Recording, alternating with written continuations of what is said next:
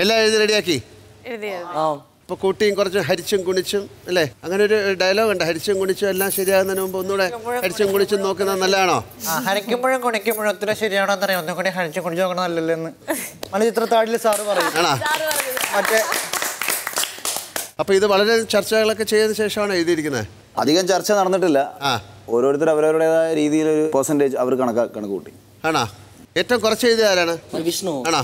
പക്ഷെ അതെന്തോ മാറ്റിയൊക്കെ പിന്നെ അങ്ങോട്ടും ഇങ്ങോട്ടൊക്കെ മാറ്റി. നേരത്തെ കൂടുതലല്ലേ വിഷ്ണു എഴുതിയിരുന്നത് ഇല്ല ഞാനത് ആദ്യം കൂടുതൽ എഴുതിയിട്ട് കുറച്ചായിട്ട് തോന്നുന്നല്ലോ. ഇല്ല ഞാനത് ഫസ്റ്റ് എന്റെ പതിനൊന്നായിരുന്നു.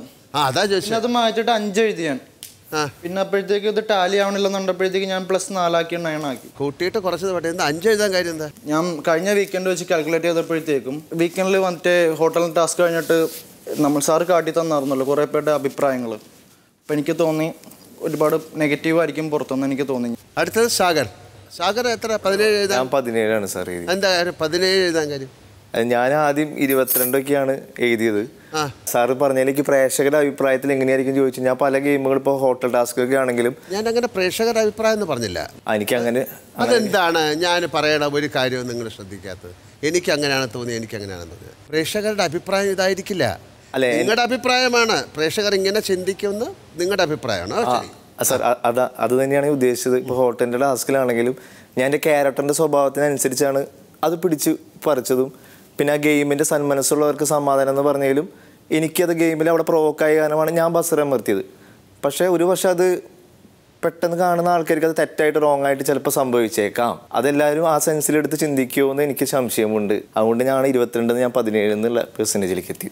അത്രയേ ഉള്ളൂ സാർ. എന്താണ് സാറിന് ഒരു ടെൻഷൻ ഉണ്ടോ? ഇല്ലില്ല ഞാൻ ഭയങ്കര ഹാപ്പിയാണ് പിന്നെ പെട്ടെന്ന് ഇരുപത്തിരണ്ടിൽ നിന്ന് പിന്നെ പതിനേഴ് മാറ്റി എഴുതാന്നൊക്കെ പറയുന്നതുകൊണ്ട് ഞാൻ ചോദിച്ചു. ഞാൻ ഫസ്റ്റ് എഴുതാനുള്ള റീസൺ ഇപ്പൊ ആ ടാസ്കിന്റെ ഇടയിൽ മറ്റേ ഹോട്ടലിനാണ് ഞാൻ തട്ടി പറിച്ചു. അയ്യോ ഇത് എന്ത് മോശം പ്രവർത്തിയ പക്ഷേ ആസ് എ ഗെയിമർ എന്നുള്ള രീതിയിൽ എനിക്കത് റൈറ്റ് ആയിട്ടാണ് ഞാൻ ഇപ്പോഴും വിശ്വസിക്കുന്നത്. പക്ഷെ എന്റെ വ്യൂ ഞാൻ എന്റെ ചിന്തയിൽ നിന്ന് ചിലപ്പോൾ അത് അയ്യോ ഭയങ്കര റോങ് ആയിട്ടല്ലോ കാണിക്കുന്നത് കാണിക്കുന്ന? ഒരു പക്ഷെ തോന്നാം.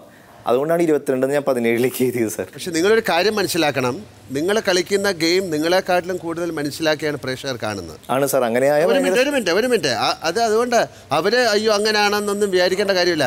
അവരേറ്റവും മനോഹരമായിട്ട് ചിന്തിച്ച് ഒക്കെയാണ് കാണുന്നത്. അവരേറ്റവും ഏറ്റവും അറിഞ്ഞു അറിഞ്ഞുകൊണ്ട് തന്നെയാണ് നിങ്ങൾക്ക് ഓരോ വോട്ടും തരുന്നത്. അല്ലാതെ അവരങ്ങനെ ചിന്തിക്കുന്നതല്ല. ഞാൻ ചിന്തിക്കുന്ന പോലെ അവർ ചിന്തിക്കണമെന്നല്ല അവർ സസൂക്ഷ്മം കളി കണ്ട് വിലയിരുത്തി തന്നെയാണ് തരുന്നത്. കേട്ടോ ഇരുന്നോളൂ. Okay sir thank you Big Boss